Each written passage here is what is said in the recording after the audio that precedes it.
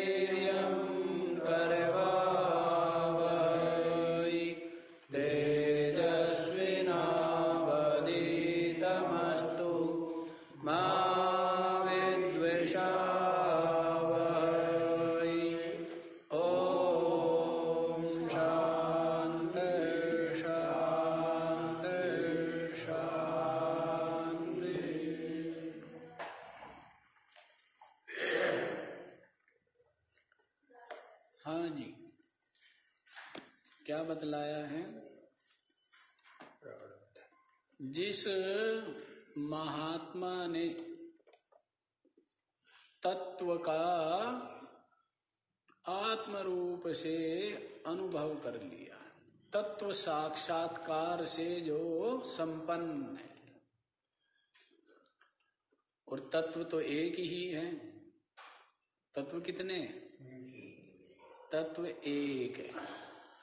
और बाकी क्या है? आभास मात्र है। बाकी? आभास मात्र है, प्रतीति मात्र है।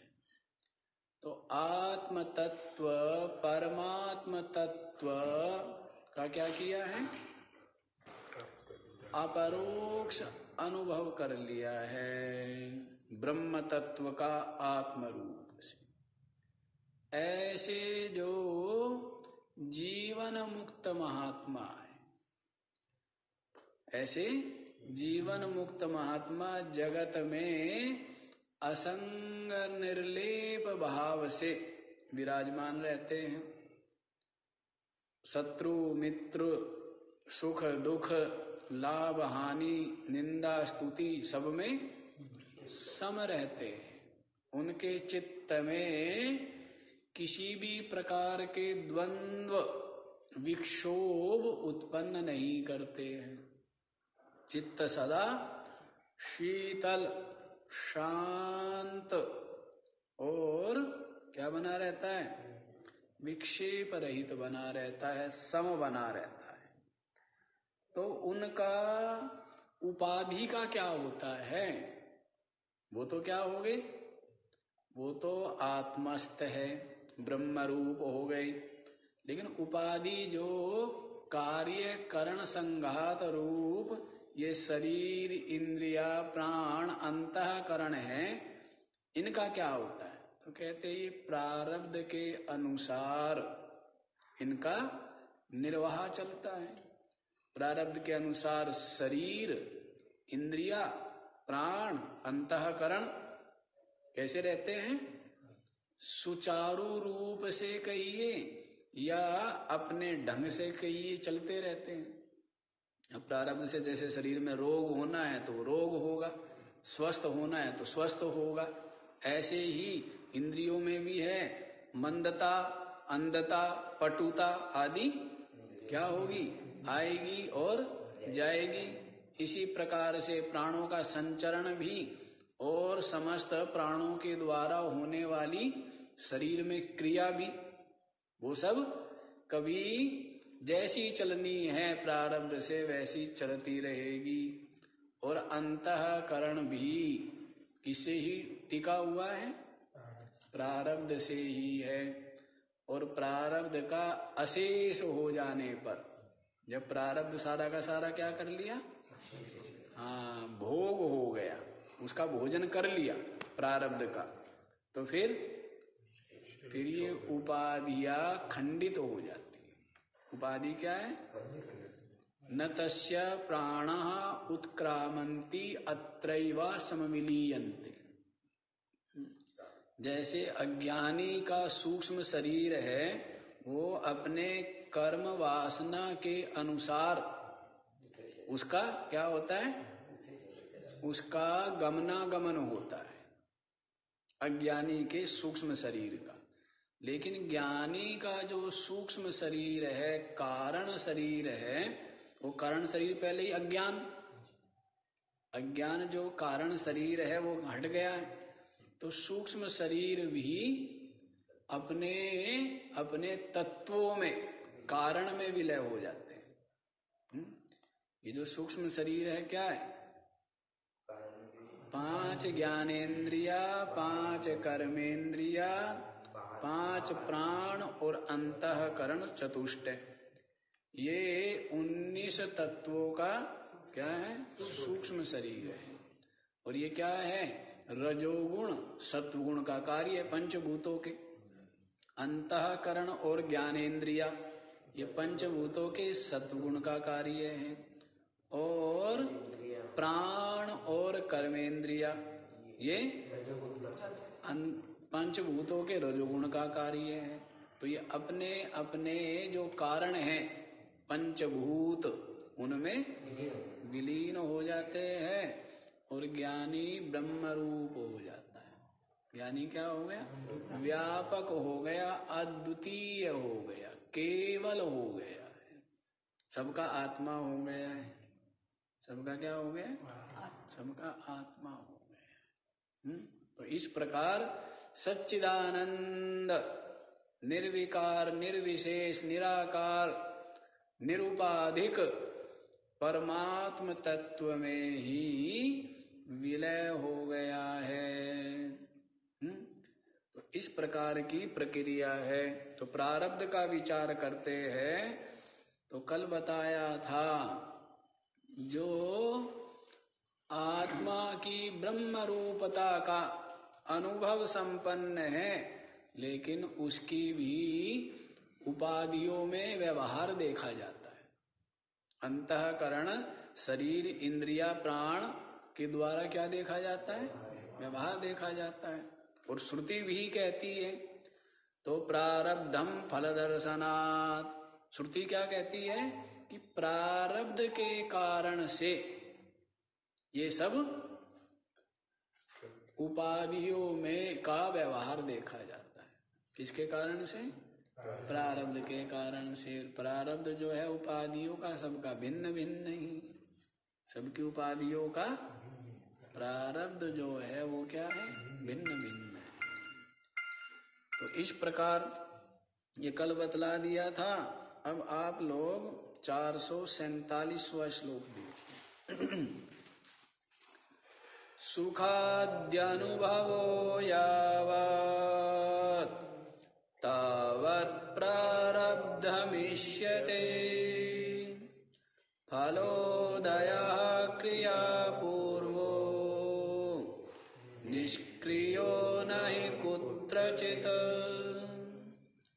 सुखादि अनुभव यावत तावत प्रारब्धम ईष्यते फलोदय क्रियापूर्व निष्क्रिय नहीं कुत्रचित यावत सुखादि अनुभव। जब तक क्या है? बाह्य जगत का क्या बना हुआ है? अनुभव बना हुआ क्या बना हुआ है? हाँ, बाह्य जगत की प्रतीति और उसके द्वारा अंतकरण में सुख दुख आदि का क्या बना है? अनुभव हो रहा है। सुख दुख आदि का ज्ञान हो रहा है। तो जब तक ये हो रहा है, तब तक तावत प्रारब्धम इष्यते। तब तक क्या है? प्रारब्ध को स्वीकार किया जाता है। तब तक क्या है? प्रारब्ध को स्वीकार किया जाता है। तब तक उसको द्वंद्व का अनुभव हो रहा तब तक जगत का जगत का अनुभव हो रहा है ज्ञान हो रहा है हुँ? और जब प्रारब्ध अशेष हो जाएगा तो हमने आपको बताया ही है कि वृत्ति जो चित्त है वो सर्वथा विलय हो जाएगा हुँ? जैसे सुसुप्ति में आपका चित्त क्या होता है? विलय हो जाता है। लेकिन वो वासना, वासित चित्त है। क्या है? वासना लेकर के जाता है और वही लेकर के फिर प्रकट हो जाता है। सोने जब गया तो विविध संस्कार, विविध जो भी है, इच्छा, कामना, ज्ञान, बाह्य जगत का, ये सब वासना रूप में लेकर के गया। सब ज्ञान संस्कार सबकी क्या है? वासना है ना? चित्त में उनको लेकर के जाता है और फिर फिर प्रकट हो जाता है। सुसुप्ति अवस्था से उत्थान होने पर। वैसे ही ज्ञानी का भी जो क्या हो गया है? समाधि काल में चिंतन काल में ब्रह्म रूप हो गया है चित्त। क्या हो गया? ब्रह्म रूप हो है लेकिन अब क्या है? वासना उसमें भी है। उस चित्त में भी क्या है? क्योंकि वासना सर्वथा। नष्ट होने का मतलब तो है चित्त का न होना। चित्त का न होना। तो चित्त का न होना तो फिर बाह्य जगत की अनुभूति। तो ये पदार्था भावनी और तुरी अवस्था है। पदार्था तुरी अवस्था में क्या होगा? चित्त बहिर्मुख होगा ही नहीं क्योंकि चित्त में किसी भी प्रकार की वासना नहीं, नहीं रही है। चाहे वो देखना सुनना बोलना सत्संग आदि ये भी सब वासना है। अब वो मलिन वासना है या शुभ वासना है वो एक अलग विषय।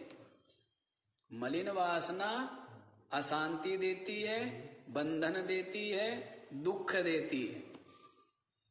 और विभिन्न नीच योनियों में भटकाती है। ये मलिन वासना है। शुभ वासना क्या करती है? शांति, शीतलता देती है। सत्संग स्वाध्याय सेवा, सतकर्म, ये सब क्या है? ये शुभ वासना के द्वारा होती है। इससे पुण्य की प्राप्ति भी होती है और अंतकरण की निर्मलता की प्राप्ति भी होती है। जो सकाम भाव से करते हैं, उनको पुण्य की प्राप्ति होती है और जो निष्काम भाव से करते हैं, काम वही है। उनका अंतकरण निर्मल होता है। तो ये शुद्ध वासना हो गई, शुभ वासना हो गई। तो जो ज्ञानी है, उसके चित्त में भी क्या है? हाँ लेकिन वैसी वासना है। जैसे बताया था ना आपको कि जैसे बीज है, चना। चना है तो एक तो चना है कच्चा और एक कच्चा, एक दूसरा चना क्या है? भुना हुआ है। तो वो जो कच्चा चना है, उसको अंकुरित किया जा सकता है। उससे आगे भी और बहुत चने उगाए जा सकते हैं। खाया भी जा सकता है। लेकिन जो भुना हुआ चना है, वो केवल खाया जा सकता है, उससे आगे उगाया नहीं जा सकता। तो वैसे ही ज्ञानी का जो चित्त है, वो ज्ञान अग्नि से क्या हो गया? सेक सेक दिया है उसको। भून दिया गया है। तो अब वो केवल उसमें जो वासना है, वो केवल प्रारब्ध भोग के लिए। वो जो वासना है, वो क्या है? भविष्य की आगामी कर्म बने, संचित कर्म उनके द्वारा बन नहीं सकते।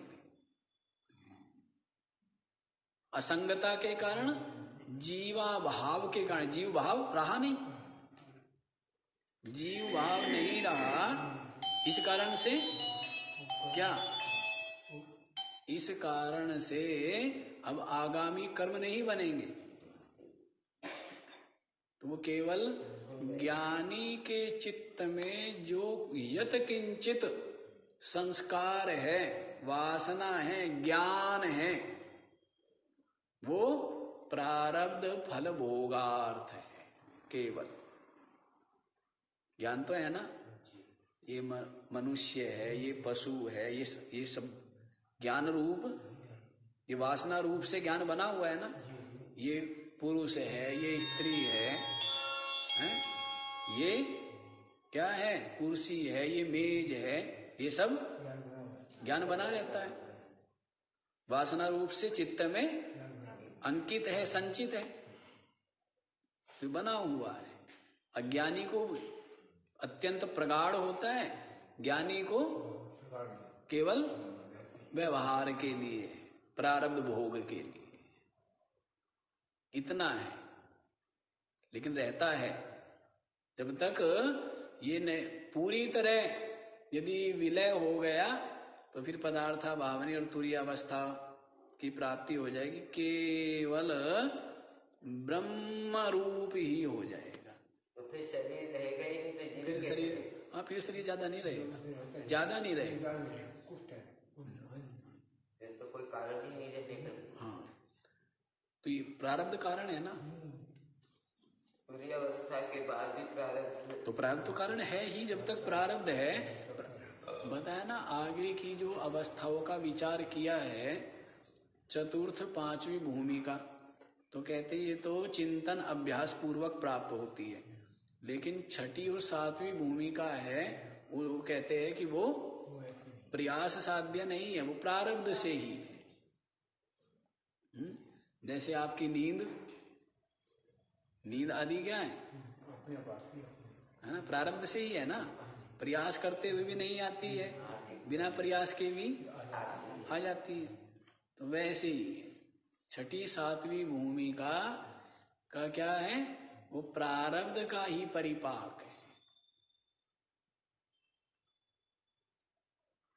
तो फिर बाह्य जगत की पूर्णा नहीं हो। इस प्रकार से। तो देखिए क्या बताया है कि जब तक ज्ञानी को भी किसको?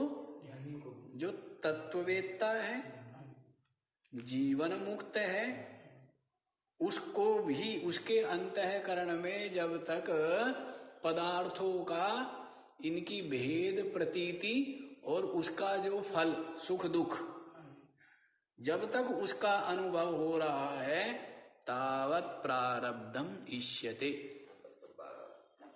तब तक प्रारब्ध को स्वीकार किया जाता इसके कारण से है? हाँ बस अब भेद प्रतीति है। पहले सत्य रूप अब मिथ्या। पहले कैसे प्रतीति होती थी?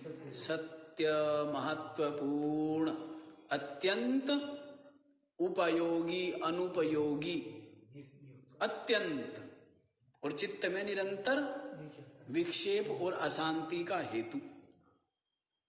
लेकिन अब भी प्रतीति हो रही है पदार्थों की भेद रूप से कि ये कुर्सी है ये मेज है ये दरवाज़ा है ये घड़ी है ये वृक्ष है ये दीवार है ये दरवाज़ा है ये खिड़की है ये मनुष्य है ये पशु है ये पक्षी है सब भेद की प्रतीति हो रही है लेकिन सत्य महत्व रूप से नहीं हो रही है प्रतीति हो रही है मिथ्या ही प्रतीति हो रही है। क्या हो रही है? शरीर की भी प्रतीति हो रही है लेकिन शरीर भी क्या है? मिथ्या ही है ये इंद्रिया ये प्राण ये अंतकरण ये भी क्या है। जैसे स्वप्न में हमने देखा और जग गए। क्या हो गए? जग गए। उसके पश्चात फिर स्मरण करते हैं हम स्वप्न के अपने शरीर का। स्वप्न के अपने इंद्रियों का स्वप्न की अपनी परिस्थितियों का स्वप्न में बहने वाली नदी का वृक्षों का शेर का गाय का विचार करते हैं सब दिखते हैं यथावत लेकिन जो स्वप्न काल में सत्य भासते थे अब वही स्वप्न के पदार्थ जगने पर क्या है? वैसे ही अज्ञान काल में जो जगत सत्य भाषता है अज्ञान। काल में वही जगत प्रबोध हो जाने पर। क्या होता है? प्रतीत तो होता है लेकिन मिथ्या प्रतीति होती है। अब वो भय चिंता क्लेश अशांति दुख को देने वाली नहीं होती। कितना सुंदर है। ऐसा उलझा हुआ था चित्त। और क्या हुआ? शास्त्र, श्रुति ज्ञान, गुरुदेव की युक्तियों से यूँ सुलझ जाता है। और सुलझ गया तो क्या होता है? कि वही का वही मुक्त हो जाता है। वही का वही क्या होता है? मुक्त हो जाता है। सब ये महिमा किसकी? ज्ञान है। महिमा किसकी नहीं ज्ञाने न सदृशम पवित्रम इह विद्यते। क्या कहा है? ज्ञान के सदृश इह लोके अस्मिन लोके पवित्रम न विद्यते। इस जगत में इस संपूर्ण जगत में ज्ञान के समान कुछ भी पवित्र सबसे पवित्र यो बंधन से मुक्त हो जाता है। यो अशांति से मुक्त हो जाता है। कर्म कभी तक करते रहो उपासना कभी तक करते रहो तो उनसे क्या होगा? होगा उनसे निर्भयता अभयता इतना शीघ्र और संपूर्ण रूप से प्राप्त होने वाली नहीं और ज्ञान यूँ सुलझा देता है। बड़ी से बड़ी समस्या, है? और सबसे बड़ी समस्या मृत्यु। सबसे बड़ी समस्या क्या है? मृत्यु। और इस मृत्यु का भी ज्ञान क्या कर देता है? समाधान कर देता है कि तू मरता नहीं है। तू मरता नहीं है और जो मरता है वो रहता नहीं है। हम्म?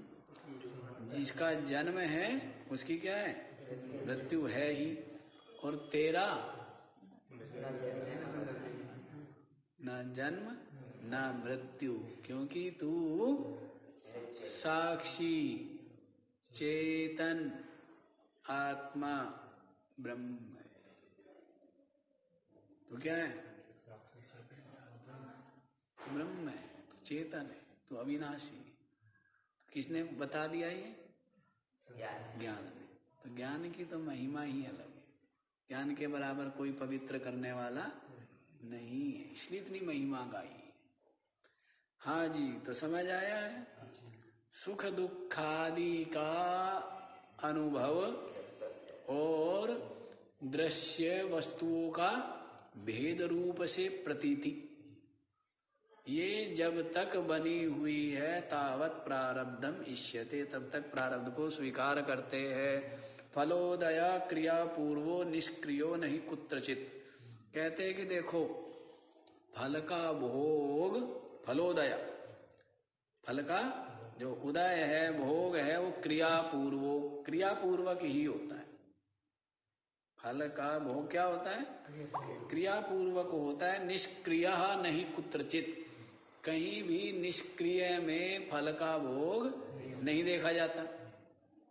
है ना? जैसे आपके सामने भोजन की थाली रख दीजी रख दी गई है। और यदि आप क्रिया नहीं करेंगे तो क्या होगा? हैं? भूख मिटेगी क्या? हाथों से टुकड़ा भी तोड़ना पड़ेगा, ये भी एक कर्म होगा। उसके बाद मुख में पहले अंतःकरण में ही कर्म होगा, है ना? क्या? भूख की अनुभव होगा। किस, क्या होगा? भूख प्यास की अनुभूति होगी। फिर भूख प्यास की अनुभूति हुई है तो उसकी निवृत्ति के लिए क्या होगा? प्रयत्न करेगा। भोजन, चाहे वो जुटाना हो और चाहे रसोई में रखा हुआ भोजन है, उसको थाली में रख के लाना हो। फिर वो थाली में रख भी दिया है तो उसके पश्चात भी हाथों से या दूसरे नहीं ला रख दिया। दूसरे ने ही आपके प्रारब्ध से आपके सामने क्या रख दी? हाँ चिंता कौन कर रहा है? आपकी दूसरा कर रहा है प्रारब्ध से। हम्म? आपको भूख उतना अनुभव नहीं हुई, उसको पहले भूख, उसको अनुभव हो गई कि क्या है?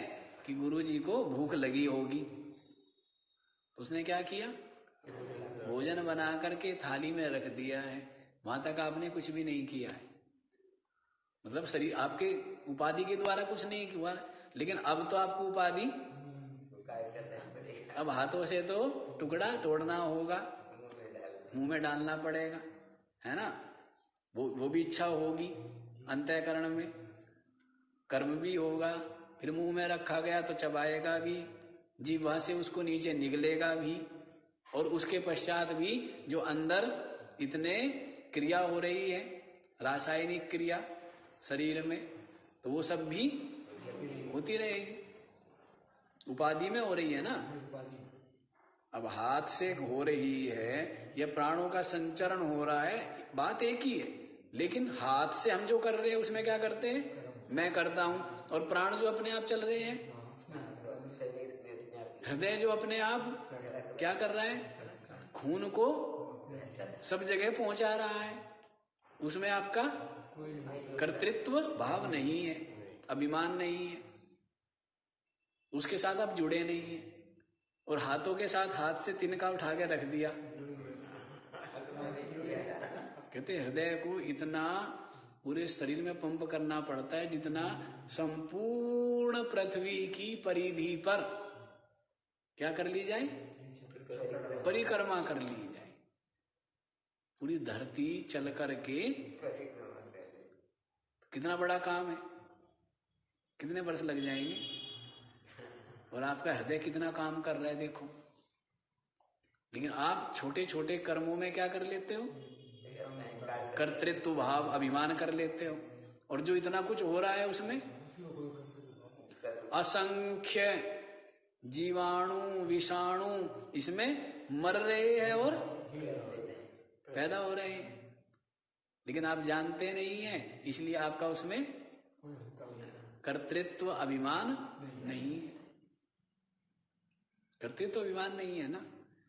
तो वैसे ही है, ये उपाधि के द्वारा जो कर्म हो रहा है, चाहे वो बाह्य कर्म हो, चाहे वो आंतरिक कर्म हो, चाहे आपके जानते हुए हो, चाहे आपके न जानते हुए हो, वो सब किससे हो रहे हैं? प्रारब्ध से किससे हो रहा है? बहुत कर्मों को हम जानते नहीं है। कुछ कर्मों को जान भी रहे हैं कि शरीर में शरीर के द्वारा हमने जो किया उनको हम जानते हैं। बाकी शरीर में जो कुछ हो रहा है एक एक सेल्स पुराने जो मर रहे हैं कहते कुछ दिनों में बिल्कुल नया शरीर हो जाता है। जिस शरीर जिन सेलों को लेकर के शरीर का जन्म हुआ था वे सेल अब बिल्कुल भी नहीं है। बिल्कुल नए सेल बन गए। एक एक शरीर का रोया रोया अलग हो गया। लेकिन आपको, आपने कुछ किया उसके लिए? आपको पता भी नहीं है, ज्ञान ही नहीं है। सब कुछ हो ही रहा है ना प्रकृति में। धूप आती है तो कमरे के एक एक अणु क्या हो जाता है? पवित्र हो जाता है। और धूप ना आए तो एक एक अणु, उसमें क्या होती है? शीलन, दुर्गंध। अपने आप ही हो रहा है ना? प्रकृति में। तो वैसे ही शरीर भी किसका है? प्रकृति का है। तो सब इसमें होते रहते। गुणा गुणे सुवर्तनता। क्या हो रहे हैं? हाँ गुण ही गुणों में व्रत रहे हैं। तो ज्ञानी ऐसा देखता है और कहता है, मैं अकर्ता हूँ, साक्षी मात्र सत्ता मात्र देने वाला चेतन मात्र। इस प्रकार से ज्ञानी स्वयं को देखता है। तो कहते फलोदय क्रिया पूर्व फल का जो उदय है, हैं? फल का जो उदय है। उदय यहाँ पर भोग के लिए ले लिया है। अन्यथा फल की उत्पत्ति हो चाहे फल का संग्रह हो चाहे फल का सेवन हो ये सब के सब क्या होते हैं? प्रारब्ध पूर्वक ही हो रहे हैं। प्रारब्ध से ही हो रहे हैं ना? फल की उत्पत्ति, फल का है, संग्रह, सेवन और उसका विनाश, ये सब क्या हो रहे प्रारब्ध से ही हो रहे हैं। हम्म? सबका सब। तो क्रिया पूर्व सबका सब क्या है? क्रिया पूर्वक फल का जो भोग है, वो होता है। निष्क्रिय नहीं कुत्रचित। तो बिना कर्म के, बिना क्रिया के फल का भोग नहीं देखा जाता है। लेकिन ये नियम सार्वत्रिक नहीं है। ये नियम क्या है? सार्वत्रिक नहीं है। बिना क्रिया के भी फल का भोग देखा ही जाता है। नहीं देखा जाता। अब आप बैठे ठंड लग रही है। हाँ? क्या कर रहे हैं? उसके लिए क्या क्रिया की आपने? कुछ क्रिया नहीं की? आप लेटे हैं, स्वप्न दिख गया है। और स्वप्न में बहुत दुख भोगा है आपने। तो क्या? भोग तो हुआ है ना? नहीं हुआ है, लेकिन कोई क्रिया नहीं हुई है। तो ये सार्वत्रिक नियम नहीं है। यहाँ पर केवल हमें ये बतलाना है कि सुख दुख आदि का जो अनुभव है, जब तक है, तब तक प्रारब्ध को स्वीकार करना पड़ेगा। ये पंक्ति ऐसे लगती है कि इस पंक्ति की बहुत संगति नहीं बैठ। रही फलोदया क्रिया पूर्वो निष्क्रियो नहीं कुत्रचित। कि फल का उदय, फल का भोग क्रिया पूर्वक ही होता है। बिना क्रिया के भी फल का भोग हो ही रहा है। प्रारब्ध से हो रहा है ना? कौन चाहता है रोगी होना भोग हो रहा है ना फल का? कौन चाहता है ठोकर लगे? कौन चाहता है कि सर फूटे? कोई चाहता है? तो बिना चाहते हुए, बिना कर्म क्रिया के भी क्या है? फल का भोग? देखा जा रहा है। कैसे देखा जा रहा है? प्रारब्ध से देखा जा रहा है। कैसे देखा जा रहा है? तो ये पंक्ति का सही भाव कितना कह रहा है, ये पता नहीं। लेकिन ये कोई नियम नहीं है कि क्रिया पूर्वक ही फल का भोग। बहुत जगह क्रिया पूर्वक फल का भोग है और बहुत जगह बिना क्रिया के भी फल का भोग है। प्रारब्धि हुआ तो प्रारब्ध ही हुआ ना? तो ये नियम तो नहीं हुआ ना क्रिया पूर्वक अब जैसे भूख की निवृत्ति वो क्रिया पूर्वक होगी। है? लेकिन जो आपको सर्दी लगनी गर्मी लगनी ये ये कोई क्रिया पूर्वक नहीं है बहुत चीज़ें क्रिया दुख सुख के आ रहा है, फल भोग ज़रूर यदि हो रहा है तो उसमें हेतु क्या है? प्रारब्ध।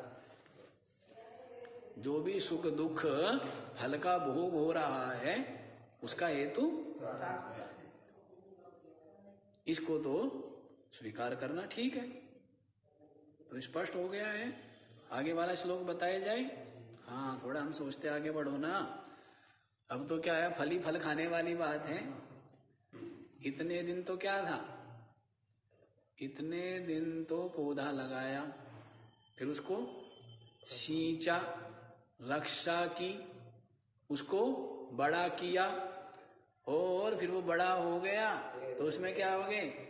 पत्ते आए शाखाएँ फूटी और विशाल वृक्ष हुआ फिर फूल आए और फिर फल लगे। तो परिश्रम कहाँ तक था? जब तक फूल है। और जब फूल बच गया उसके बाद क्या हो गया? फल आ गया है और फल पक भी गया है। फल क्या है? तो अब क्या करना है? अब तो फल को खाना ही तो रह गया।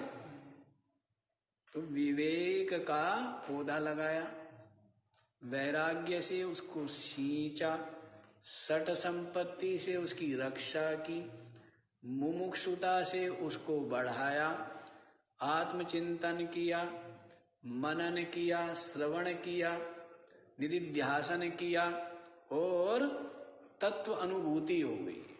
क्या हो गई है? तो फल हो गया ना। तत्व अनुभूति क्या है? जो आप सुनी आए थे पीछे। वैराग्य से फलम बोधो बोधश्चोपरति फलम। और क्या बताया था? बताया था स्वानंदानुभवात शांति ऐसा एव उपरते फलम। हम्म? अपने हाँ तो वो बता दिया था। अपने आनंद का अनुभव रूप शांति ये क्या है? उपरति का फल है। तो फल मिल भी गया पक भी गया। अब क्या कर रहे हैं? फल खा रहे हैं। तो उसमें थोड़ी जल्दबाजी कर सकते हैं। अब तक तो वो धीरे धीरे था ना सब कुछ। हम तो फल ही फल खा रहे हैं ना मीठा मीठा फल। कच्चा नहीं है कच्चा फल खाने में भी समय लगे। पका हुआ आम है क्या करना है? पीना ही तो है। स्वाद ले लेके हाँ तो स्वाद तो आता ही रहेगा ना क्योंकि खूब है चिंता मत करो। असीमित है अनंत है। तो इसलिए आगे देखिए जी चार सौ अड़तालीसवा श्लोक अहम ब्रह्मेति विज्ञानात्। कल्पकोटिशतार्जितम् सञ्चितं विलयं याति। प्रबोधात् स्वप्नकर्मवत्। अहम ब्रह्मेति। विज्ञानात्। कल्पकोटिशतार्जितम् संचितं विलयं याति। प्रबोधात्। स्वप्नकर्मवत्। अहम ब्रह्मेति विज्ञानात्। मैं ब्रह्म हूँ। मैं इति विज्ञानात्। ये क्या हो गया? ये विज्ञान है। ये अनुभव है कि मैं अद्वितीय सच्चिदानंद। नित्य मुक्त ब्रह्म परमात्मा। क्या हो गया कितना परिश्रम किया है? कितना? जैसे कि कोई जो है, बाल्टी भर करके पानी की और ऊपर चढ़ना है। क्या हो गया? दस मंजिल ले गया। तो उसने क्या किया? और जो पचास मंजिल ले गया उसने, और अधिक परिश्रम किया। और जो उठा करके सीढ़ी से, क्या है? सौ मंजिल ले गया उस पानी की बाल्टी को तो उसने बहुत परिश्रम किया। परिश्रम है। वैसे इसने तो महान परिश्रम किया कि जीव भाव से उठ करके कहा पहुँच गया? भेद से, नानापने से, द्वैत से, दृश्य से विषयों के राग से उठ करके कहा पहुँच गया? ब्रह्म भाव कहा पहुँच गया है? बहुत परिश्रम किया है ना? कितना परिश्रम किया है? है ना? कोई सीमा है? यही परिश्रम है, यही पुरुषार्थ है। परम पुरुषार्थ तो यही है। परम पुरुषार्थ। तो इतना उठाया इतना उठाया इतना उठाया अपने चित्त को। क्या हो गया ये ब्रह्म हो गया अब यह अनुभव है कि नित्य मुक्त ब्रह्म परमात्मा में। ऐसा अभिमान नहीं है। अभिमान किसको हो जीव को होता है। जिसके लिए भेद है, द्वैत है, दूसरा बना हुआ है, उसके लिए क्या है? वो वाणी से कहेगा, मैं ब्रह्म हूँ। जिससे कि दुनिया उसको क्या करे? जाने माने तो द्वैत बना हुआ है ना? लेकिन ज्ञान है जो उसको सहजता से, अंतर में स्वीकार है कि मैं चेतन हूँ, मैं ब्रह्म अंतर से, अंतस में। और सबका सब मुझ आत्म रूप है ब्रह्म रूप है। इसको कहने की, दुनिया को जनाने और या मनवाने की सबकी सब तो सारी दुनिया जो है, किसको कहे? सबका सब मेरी कल्पना, सबका सब मिथ्या, सबका सब आभास प्रतीति मात्र। तो इसमें जनवाने की, मनवाने की, दिखाने की कोई आवश्यकता है क्या? नहीं। जो इसको सत्य मानते हैं, वही इसमें कुछ पाना चाहते हैं। जिसके लिए क्या हो गया ये? मिथ्या है तो वो इसमें कुछ पाने का कुछ त्यागने का आग्रह करेगा क्या? प्रयास करेगा क्या? कोई प्रयास नहीं करेगा। तो वैसे ही मैं ब्रह्म हूँ इति विज्ञानात। ऐसा विज्ञान हो गया। ऐसा क्या हो गया? ऐसी अनुभूति जिसको है कल्प कोटि शतार्जितम संचितम विलयम याति। कल्प कोटि करोड़ों कल्पों में, सैकड़ों, सौ करोड़ों, शतार्जितम, सौ करोड़ों कल्पों में जो एकत्रित किए हैं, ऐसे जो संचित कर्म। क्या किए? तो इसके द्वारा भी क्या क्या बता दिया? सौ करोड़ कल्प। इसके द्वारा क्या बता दिया? आप अविनाशी हो। क्या बताया? सौ करोड़ कल्प बीत गए। सृष्टि पैदा हुई और नष्ट हो गई। लेकिन आप आप रहे। और ये कर्म भी वासना रूप से आप में रहे। तो कर्म को भी नित्य बता दिया। कर्म को क्या बताया? हाँ कि कर्म से छुटकारा नहीं मिलता है। भोगना पड़ता है, जब तक अज्ञान बना हुआ है। कर्म भी नित्य है, और कर्म से उत्पन्न ये जो संसार है, ये भी क्या है? ये भी नित्य है। अर्थात जन्मता है, मरता है, आगे फिर तो चलता रहता है। ये बता दिया। तो सौ करोड़ों कल्प एक कल्प क्या है? एक कल्प क्या बताया था? ब्रह्मा जी का एक आयु। एक आयु के एक आयु। सौ सौ दिन हो गए ब्रह्म मतलब सौ वर्ष हो गए ब्रह्मा जी। तो तब एक कल्प होता है। हम्म? तब क्या होता है? सृष्टि का महाप्रलय होता है, सृष्टि का।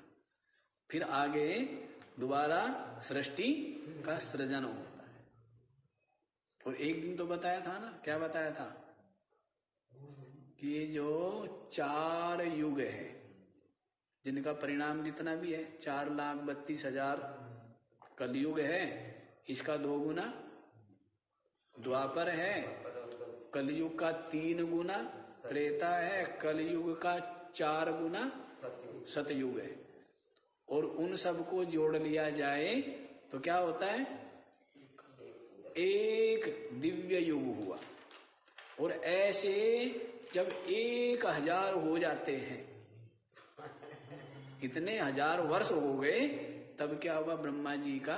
एक बाबा जी का एक दिन हुआ। ये चार युग एक हज़ार बार बीत जाए। तब क्या होता है? बताया था ना गीता जी में? क्या बताया था? सहस्त्र युग पर्यंतम अहर यद ब्रह्मणो विदु।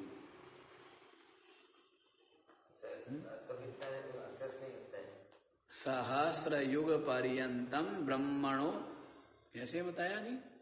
सहस्र युग पर्यंतम अहर यद ब्रह्मणो विदु। ब्रह्म का अहा अह माने दिन सहस्र युग पर्यंत सो, युग बीत जाए, नहीं, हज़ार हज़ार दिव्य युग बीते तब ब्रह्मा जी का एक दिन। मतलब चारों युग एक हज़ार बार क्या हो जाए? बीते तब ब्रह्मा जी का एक दिन। इतनी बड़ी एक रात। और इतने तीन सौ पैंसठ दिन में तब जाके क्या होगा? एक वर्ष। और ऐसे ही सौ वर्ष बीते तब क्या हुआ? एक कल्प। तो ब्रह्मा जी बूढ़ा होके मर जाएगा। सौ साल में तो मरेगा ना? हाँ। कुछ कुछ बूढ़े जो है वो थोड़ा ज़्यादा भी जी जाते हैं। 110 साल 120 साल 130 साल तो, तो वो भी चलेगा फिर। तो एक कल्प होता है। तो ऐसे कह रहे सौ करोड़ कल्प बीत जाए तो भी कर्म फल हाँ कर्म नहीं मिटता है उसका फल भोगना ही पड़ता है। उसी को संचित कर्म कह रहे हैं कल्प कोटि सदार्जितम संचितम विलयम याति लेकिन ज्ञान की महिमा देखो। किसकी महिमा? सौ करोड़ों कल्प बीत गए और जो कर्म किसी से न जले न गले न सूखे जो नष्ट नहीं हुए वे कर्म क्या होते हैं? ज्ञान। के द्वारा वे संचित कर्म विलयम याति। अभी के अभी भस्म हो जाते हैं। वही वाली बात है कोयला वाली। कोयला होए ना उजला सोमन साबुन लाए।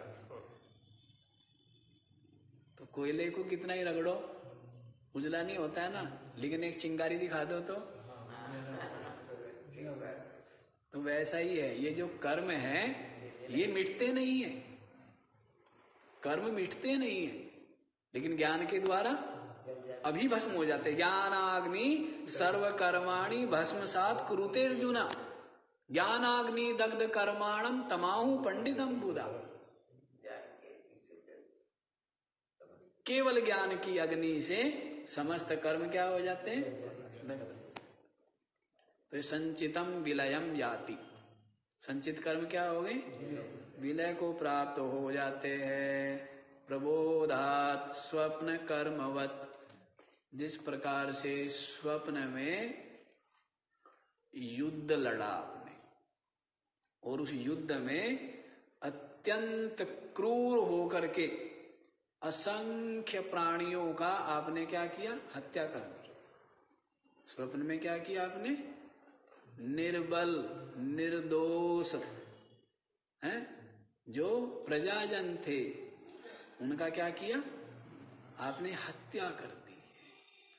और फिर आपको चेत हुआ, अब बड़ा पश्चाताप कर रहे कि मेरे से बहुत बड़ा पाप क्या हुआ? क्रोध में आकर के तो कर दिया है।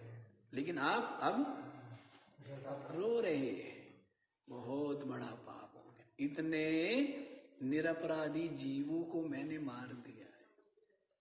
और इस पाप के कारण से मुझे नरक भोगना पड़ेगा। बड़ा पश्चाताप है, बड़ा पश्चाताप है। नींद खुल गई। क्या हुआ? अब अब वो हत्या रही क्या? और उस हत्या से होने वाला जो पाप है वो पाप भोगना पड़ेगा क्या? स्वप्न में आपने जो हत्या की जो कर्म किया और उस कर्म का उस हत्या रूप कर्म का जो फल पाप नरक या स्वर्ग? हम्म? यदि शुभ कर्म करते तो? तो क्या नरक और स्वर्ग स्वप्न के कर्मों से जगने के पश्चात प्राप्त होगा क्या? वो कर्म भी और वो जो फल आदि है, वो सब भी क्या हो गए? विलय हो गए। जगते। जगते कहाँ है? कहाँ है? कोई हत्या हुई क्या? है? कोई तलवार है क्या? कोई जीव है क्या? जिनकी लाशें पड़ी दिख रही थी। कहाँ गई वो लाशें? जो दिखने लग गया था स्वर्ग या नर्क वो है क्या? तो जैसे स्वप्न के जो कर्म है, उन कर्मों का शुभ या अशुभ कर्म जो भी हो, और उसका जो पाप पुण्य फल है वो, जगने के पश्चात क्या होता है? नहीं रहता है, विलय हो जाता है, अदृश्य हो जाता है, उड़ जाता है, होता नहीं। वैसे ही जो संचित कर्म अज्ञानी को क्या करते हैं? जन्म जन्मांतरों तक निरंतर सुख दुख देते हैं, स्वर्ग नरक भुगताते हैं, विभिन्न योनियों में भटकाते कौन? ये संचित कर्म। वही समस्त कर्म क्या होते हैं? जैसी जगह, जैसी ही अज्ञान निद्रा टूटी मोह स्वप्न दूर हुआ तो वैसे ही जगते ही अपने स्वरूप में तो न कहीं जगत, न कहीं जीव, न कहीं शरीर, न कहीं कर्म, न कहीं उनका फल, न कहीं सुख दुख भोग। सबका सब क्या हो गया? विलय हो गया। स्वप्न कर्मवत। जैसी जगते हैं तो स्वप्न का कर्म, क्रिया, फल। सबके सब क्या होते हैं? विलय हो जाते हैं। या रहते हैं? वैसे जग गया है। इस जगत रूप जो स्वप्न है, इस स्वप्न से क्या हो गया? जग गया। कहा जग गया? अपने आप। कहा जग गया? अपने आप। तो फिर ये नहीं है। तो संचितम विलयम याति। संचित कर्म विलय को प्राप्त हो जाते हैं। तो जो को आगे वाले श्लोक में थोड़ा समझा दे रहे हैं। चार सौ उनचास श्लोक में समझा रहे हैं उसी को। यत्कृतं स्वप्नवेलायां पुण्यं वा पापमुल्बणम्। सुप्तोत्थितस्य किं तत्स्यात्। स्वर्गाय नरकाय वा। यत्कृतं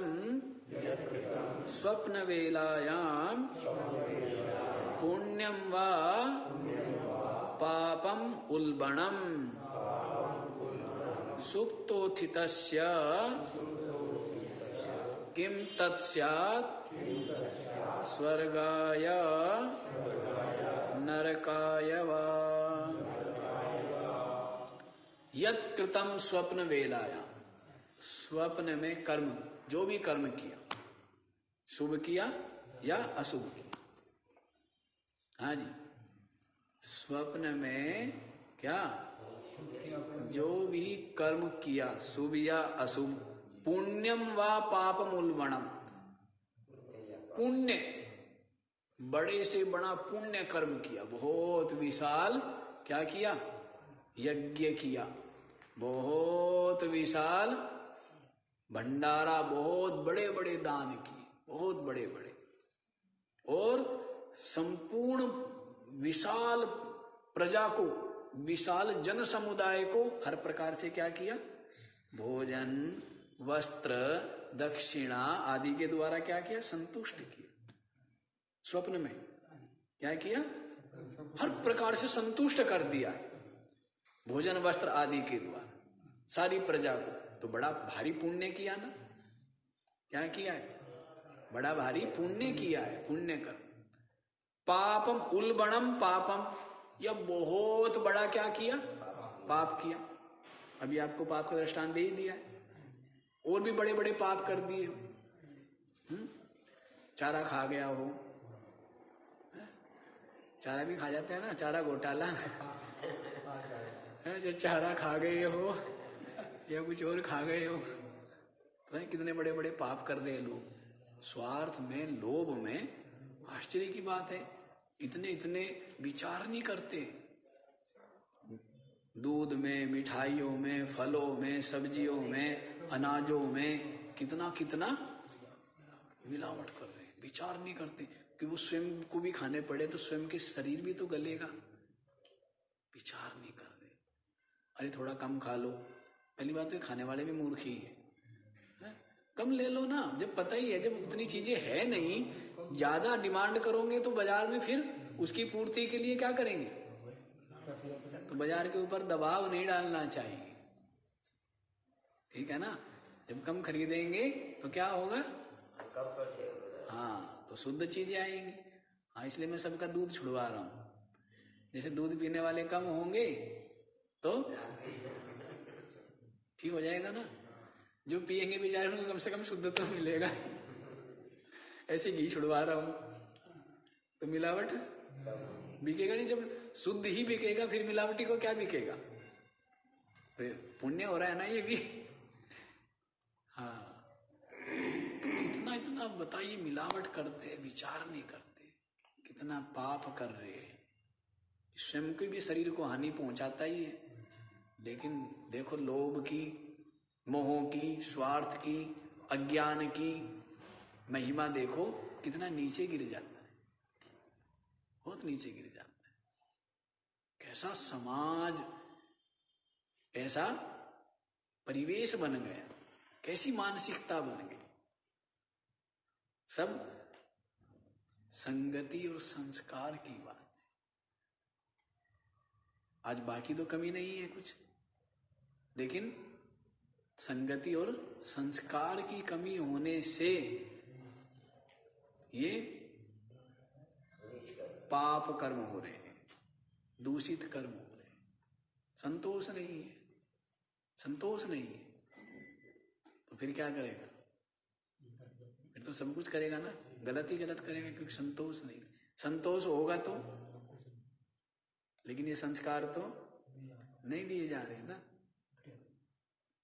नहीं दिए जा रहे। बीमारी लगी हुई है तृष्णा। तृष्णा? इतनी प्रबल है कि धर्म अधर्म पाप पुण्य नीति अनीति न्याय अन्याय उचित अनुचित का विचार इतनी तृष्णा प्रबल है। फिर भोगना भी स्वयं को ही है। थोड़ा सा विचार ऐसे ही कर लेते हैं। भोगना भी किसको है? यहाँ भी अशांत ही रहता है। मरते मरते रोते रोते मर ही जाता है और फिर रोते रोते ही पैदा हो जाता है। रोते रोते रहना, रोते रोते मर जाना, रोते रोते जन्म लेना, फिर रोते रहना, रोते ही रोते रहना। क्या करना? रोते ही रोते रहना। ऐसा ही है ना जीवों का काम। आश्चर्य होता है। देखता हूँ, बड़ा आश्चर्य होता है। कि मनुष्य जन्म पा करके भी और तब जबकि शरीर ठीक तब जबकि दो रोटी बढ़िया मिल रही है तब जब सबकी सब कुछ आनंद है लेकिन उसके पश्चात भी इतनी अशांति। है। कोई सीमा नहीं। आश्चर्य है। इसलिए कहते हैं ना कि भगवान किसी को कुछ दे न दे कम से कम विवेक तो दे दे। हैं? थोड़ी सी तो समझ हो आदमी को। मैं लोगों से बारंबार कहता हूँ, देखो भाई, कुछ भी करो, अपनी शांति की, के साथ समझौता मत करो। लोग पूछते कि महाराज, ये काम करें ना करें? तो मैं कहता हूँ, छोटा करो, बड़ा करो करो, मत करो, लेकिन अपनी शांति के साथ समझौता फिर गलती नहीं होगा कुछ भी। हम्म? अब कोई व्यक्ति चोरी करता है, वो क्या कर रहा है अपनी शांति के साथ में? समझौता कर रहा है ना? चोरी करने के लिए क्या होगा? कितना अशांत होना पड़ेगा? भय कितनी अशांति? कोई भी गलत काम करने के लिए क्या होगा? तो मैं कहता हूँ, शांति की कीमत पर नहीं, शांति के साथ समझौता नहीं। बाकी करो, मत करो। कम कर लो। चार की जगह दो खा लो। लेकिन शांति के साथ समझौता नहीं करना चाहिए। मनुष्य जीवन मिला कम से कम इसमें भी अशांति रहे दुखी रहे तो फिर? अशांत करते रहती हाँ। तो यही है। जैसे दुखी होता रहता है और फंसता जाता है। उससे कौन सा शांति मिलती? है करती जो तृष्णा अब परेशान कर रही है वर्तमान में वो उससे कौन सा मतलब शांति मिलेगी? और तृष्णा भी बढ़ेगी और अशांति भी बढ़ेगी। अभी उसको वहीं रोक दिया जाए तो। तो सत्संग हाँ सत्संग बिना विवेक बिना संगति संस्कार के बिना ये बातें समझ समझ नहीं आती। और आज के बिल्कुल बिल्कुल अच्छा जी देखो यहीं पर देखो। तो क्या कह रहे हैं कि जो कुछ भी बड़े से बड़ा पुण्य बड़े से बड़ा पाप स्वप्न वेलायाम कृतम। स्वप्न की अवस्था में किया। सुप्तो तिथस्य किम तत्स्यात् स्वर्गाय नरकाय वा। और जो सुप्त होकर के स्वप्न देख रहा था, अब क्या हो गया वो? उठ गया। उठ करके अब जो स्वप्न का पुण्य या पाप कर्म किया है तो क्या उसके लिए स्वर्गाय नरकाय वा भवती? उसको स्वर्ग या नरक देने वाला होता है? स्वप्न का पुण्य, उसके उसके, उसको क्या स्वर्ग देगा? या स्वप्न में किया हुआ बड़े से बड़ा पाप उसको जगे हुए व्यक्ति को नरक देगा? नहीं देगा। तो वो दृष्टांत जो दिया था ना, स्वप्न कर्मवत, उसी को यहाँ पर स्पष्ट कर दिया। बड़े से बड़ा। हाँ। विशाल। तो जो बड़े से बड़ा पा, पाप या बड़े से बड़ा पुण्य जो स्वप्न दशा में किया गया है स्वप्न से जगे हुए व्यक्ति के लिए स्वर्ग और नरक का हेतु नहीं बनता। वैसे ही जो अज्ञान दशा में करोड़ों जन्मों में जो कर्म किए गए वे कर्म अब जो ज्ञान हो गया, जो स्वरूप में जग गया है, उसके लिए वे सभी कर्म क्या होते विलय हो जाते समझ आया? जैसे जगने पर स्वप्न के कर्म क्या हो गए? विलय हो गए ना? अपने में विलय हो गया। स्वप्न भी, स्वप्न के कर्म भी, सब, सबका सब क्या हो गया? बुद्धि से ही निकले और कहा? कहा विलय हो। गए अपने में विलय हो गए तो वैसे ही ये भी। तो अज्ञान दशा में सो करोड़ों कल्पों में जो कर्म किए ऐसे जो संचित कर्म हैं वे कर्म क्या होते हैं? अब ज्ञान होने पर विलय हो जाते हैं अदृश्य हो जाते हैं। कहीं दिखते मिलते ही नहीं है। क्यों? क्या हो गया? सब कुछ आत्म रूप हो गया। सब कुछ ब्रह्म रूप हो गया। अद्वितीय हो गया। कर्म की, उनका जो फल है, उन साधन की, वस्तुओं की, जगत की, लोक परलोक की सत्ता ही नहीं नहीं सबका सब क्या हो गया? ब्रह्म हो गया ना? क्या हो गया? जब ब्रह्म हो गया तो सबका सब विलय हो गया, रहा ही नहीं, सत्ता ही नहीं है। जैसे जगे तो ना शेर है, ना हाथी है, जो स्वप्न में दिख रहा था, हाथी पीछे पड़ा है, शेर पीछे पड़ा है, जगते ही विलय हो गया ना। अदृश्य हो गया। तो वैसे ही, ये सब संचित कर्म, है, इनका फल और ये लोक परलोक, सबके सब क्या हो गए?